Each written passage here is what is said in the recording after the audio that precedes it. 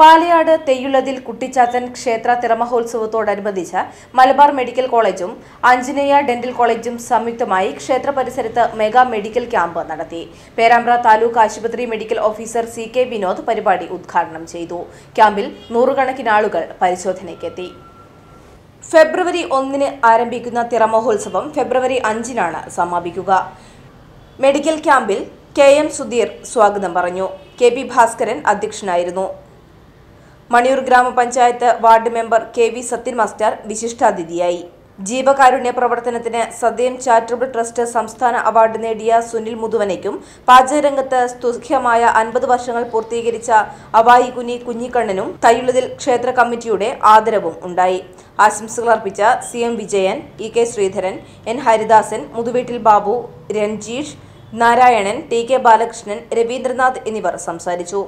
തുരുത്തിവയലിൽ നരേന്ദ്രൻ നന്ദി പറഞ്ഞു. നമുക്കെല്ലാം രോഗം കൂടുക. നിങ്ങൾ വെറുതെ ആലോചിച്ചൊക്കെ അറിയാം. നമുക്കെല്ലാം എല്ലാവർക്കും അതിൽ ഞാൻ നിങ്ങളെ വ്യത്യാസമില്ല എല്ലാ ആളുകൾക്കും രോഗങ്ങൾ കൂടിക്കൊണ്ടിരിക്കുക. തൊള്ളായിരത്തി നാൽപ്പത്തി ഏഴ് കാലത്ത് നമ്മുടെ ശരാശരി ആയുസ് എന്ന് പറയുന്നത് അൻപത്തിരണ്ട് അൻപത് വയസ്സായിരുന്നു ഒരു മനുഷ്യനുള്ള ആയുസ്. എന്നാൽ ഇന്ന് നമ്മൾ രണ്ടായിരത്തി പത്തൊമ്പത് ഇരുപത് നിൽക്കുമ്പോൾ അതിൽ ആയുസിന്റെ കണക്ക് പറഞ്ഞാൽ എൺപത്തിയഞ്ച് വയസ്സ് വരെ ആയി കഴിഞ്ഞു ഒരു ശരാശരി പുരുഷന്റെ ആയുസ്.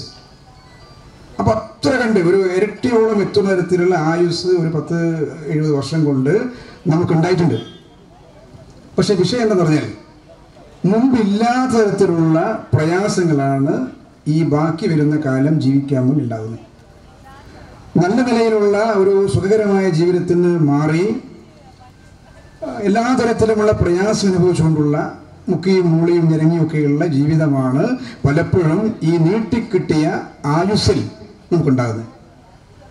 ഇത് നമുക്ക് മറികടക്കണം.